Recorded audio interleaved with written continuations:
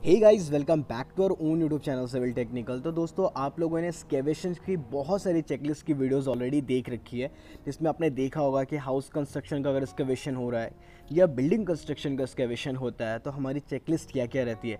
But मैं आपको बताने वाला हूँ कि रेलवे स्टेशन में जो है एफओबी होता है, वहाँ पे जब आप स्केवेशन कराते हो तो वहाँ पे आपको क्या क्या चेकलिस्ट चेक करनी चाहिए। और ये काफ़ी इंपॉर्टेंट इसलिए भी हो जाता है दोस्तों, क्योंकि रेलवे स्टेशन अगर एफओबी के पास आप काम कर रहे हो तो बगल में हो सकता है जस्ट कि एक एग्जिस्टिंग लाइन हो रेलवे की तो काफ़ी इंपॉर्टेंट है और बहुत सारे प्रिकॉशंस निकल कर वहाँ पर आ जाते हैं। मतलब आपको बहुत सारी चीज़ों का ख़ास ध्यान रखना पड़ता है during the time of excavation तो आज मैं आपको उन्हीं पॉइंट्स के बारे में बताने वाला हूँ। वीडियो में आगे बढ़ने से पहले एक छोटी रिक्वेस्ट है दोस्तों, अगर आप हमारे चैनल पर नए हो तो प्लीज़ चैनल को सब्सक्राइब करो बेल आइकन को ज़रूर से प्रेस करो, इससे आपको हमारे लेटेस्ट अपडेट हमेशा से पहले मिलते रहेंगे। सो so गाइस किसी भी स्केवेशन का सबसे पहला चेकलिस्ट तो यही होता है कि आपके पास लेआउट प्लान होना चाहिए मतलब ये कि आपको डायमेंशंस पते होना चाहिए और आपका क्या डेप्थ रहने वाला, कितने डेप्थ तक आपको स्केवेट करना है, ये आपको पता होना चाहिए। दूसरा सबसे इंपॉर्टेंट पॉइंट ये है दोस्तों कि जो रेलवेज़ में काम होता है, जो एफओबी का स्केवेशन होता है तो यहाँ पर आपको एरर ज़्यादा नहीं रखना होता। बहुत कम आपको जगह दिया जाता है एरर का मतलब प्लस माइनस फाइव एम उससे ज़्यादा नहीं। तो उसको मारने के लिए ना आपको टीएस का ज़रूरत होता है। टीएस में बहुत कम एरर्स आते हैं, ठीक है? तो टीएस आपको पॉइंट मार्किंग कर लेना है और उसी पॉइंट के हिसाब से चूना मार्किंग करना है। उसके बाद ही आप स्केवेशन शुरू करवा सकते हो। उससे पहले आप स्केवेशन शुरू भी नहीं करा सकते हो। तो मेक श्योर sure आपका लेआउट प्लान रेडी हो, उसके हिसाब से मार्किंग हो और आपको स्केवेशन शुरू करने से पहले सारे पॉइंट्स को रीचेक कर लेना है। देन दोस्तों, जो मशीन का मूविंग जोन है, उसके इंटायर एरिया में आपको परफेक्ट बैरिकेटिंग करनी है। बहुत इंपॉर्टेंट है दोस्तों। अगर कोई वहाँ पे अचानक से आ जाता है और मशीन घूम जाता है तो प्रॉब्लम हो सकता है, चोट लग सकती है। और क्योंकि ये रेलवे कंस्ट्रक्शन है, आप स्टेशन में काम कर रहे हो तो बहुत सारे पैसेंजर्स वहाँ पर रहते हैं, ठीक है? तो आपको वहाँ पर परफेक्ट बैरिकेटिंग करनी है। यहाँ पर नहीं किया गया, ये मिस्टेक है। आपको इसको चेक करना है बैरिकेटिंग है या नहीं।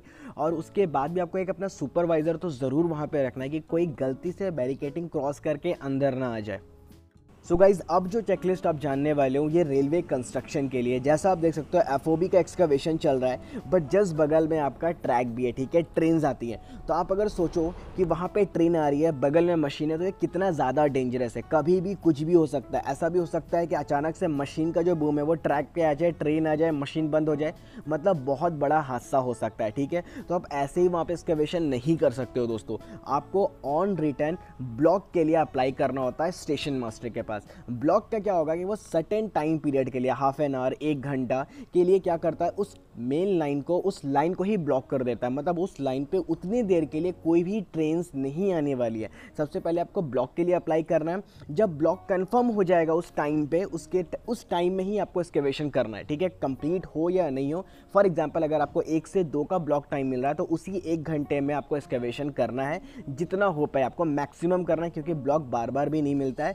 लेकिन लेकिन जब तक ब्लॉक नहीं मिल रहा है, किसी भी हाल में आपको अपने मशीन को ट्रैक के पास भी लेकर नहीं आना एक्सकेवेशन तो बहुत दूर की बात है दोस्तों। एक और इंपॉर्टेंट पॉइंट ये है दोस्तों कि आप ब्लॉक पे तो काम कर रहे हो, ठीक है ट्रेन नहीं आने हो। स्टिल आपको एक सुपरवाइज़र वहाँ पे रखना है, जिसके पास दो फ्लैग्स होंगे ग्रीन एंड रेड ठीक है? समझो बात को, हमारा जो कंस्ट्रक्शन लाइन है ना, बहुत बार चीज़ें हमारे अकॉर्डिंग नहीं हो पाती है। फॉर एग्ज़ाम्पल कि एक से दो आपका ब्लॉक टाइम था, ठीक है? जस्ट दो बजे से पहले मशीन कुछ ख़राबी आ जाती है, मशीन का बूम चला जाता है मेन लाइन पे। स्टेशन मास्टर को पता नहीं है, मशीन ख़राब हो गया, मशीन अपनी जगह से हिल भी नहीं रहा बूम मेन लाइन पे आ गया। ब्लॉक ख़त्म हो गया ट्रेन को सिग्नल मिल गया कि अब वो उस ट्रैक पे आ सकता है। अचानक से ट्रेन आ गई, ठीक है? उतना टाइम नहीं है कि आप स्टेशन मास्टर को ख़बर करोगे और ट्रेन स्टेशन मास्टर जो वहाँ पे ट्रेन चला रहा है लोको पायलट उसको ख़बर करेगा और वो ट्रेन स्टॉप करेगा। एट दैट टाइम आपके पास फ्लैग होना चाहिए इमरजेंसी में कि आप उस फ्लैग को दिखा के ट्रेन को स्टॉप करोगे। तो आपके पास रेड फ्लैग और ग्रीन फ्लैग होना चाहिए। रेड फ्लैग अगर आप दिखाते हो तो ट्रेन जो चला रहा है, उसको मालूम चल जाए कि आगे डेंजर है, वो इमरजेंसी ब्रेक लगा सकता है। तो आपके पास दो फ्लैग्स होने चाहिए और सुपरवाइज़र तो वहाँ पर मिनिमम दो होना ही चाहिए। एक जो बैरिकेटिंग पे नज़र रखे, दूसरा जो सिर्फ़ उसका काम होगा कि मेन लाइन की तरफ़ देख कर रखे कि कोई भी ट्रेन वहाँ से आ तो नहीं रहा है।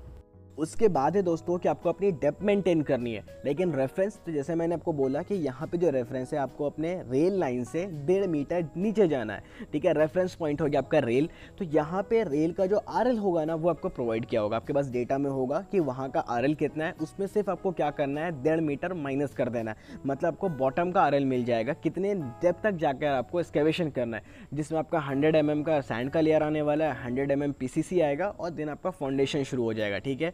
तो आप उसी तरीके से क्या करोगे? जो आरएल होगा, उसमें आप माइनस कर दोगे 1.5 मीटर बॉटम का आरएल आपको मिल गया। और फिर आपको ऑटो लेवल मशीन से डेप्थ को चेक करते रहना, ठीक है? आप उसको सेट करोगे बैक साइड लोगे एचआई निकालोगे एचआई में क्या करोगे?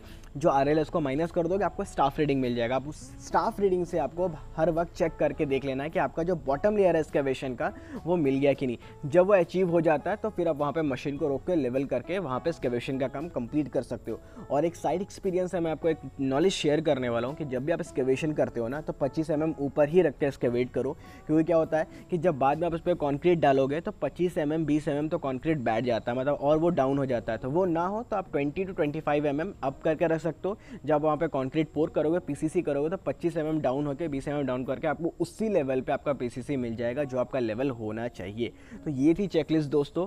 और अगर कोई पॉइंट मिस हो गया या कोई और चीज़ जानना है आपको तो आप मुझे कमेंट करके ज़रूर बता सकते हो। अदरवाइज़ अगर वीडियो अच्छा लगा तो प्लीज़ वीडियो को लाइक करो चैनल को सब्सक्राइब करो और अपने दोस्तों के साथ शेयर करो थैंक यू